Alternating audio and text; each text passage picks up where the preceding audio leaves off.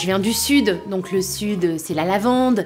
C'est, euh, je passais ma main dans, des bancs de lavande comme ça et, ça me rappelle euh, le soleil. Euh, c'est là-bas où je me sens le mieux et retrouver des senteurs que j'ai connues plus jeunes, qui sont assez euh, réconfortantes et euh, c'est quelque chose qui sent bon le frais et il y a un souvenir qui me, qui me revient là tout de suite, c'est euh, l'instant où en fait je sortais de mon bain et ma mère m'attendait avec une immense serviette, elle me séchait, elle m'enveloppait de douceur, c'était hyper fort et elle adorait mettre beaucoup de bains moussants, donc évidemment ça volait, c'était, euh, il y avait un côté hyper féerique.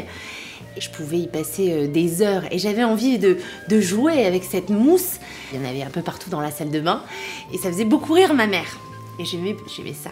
J'aimais attirer son attention. Et il y avait ce, côté euh, rempli de douceur. C'était, c'était un moment qu'on aimait partager toutes les deux.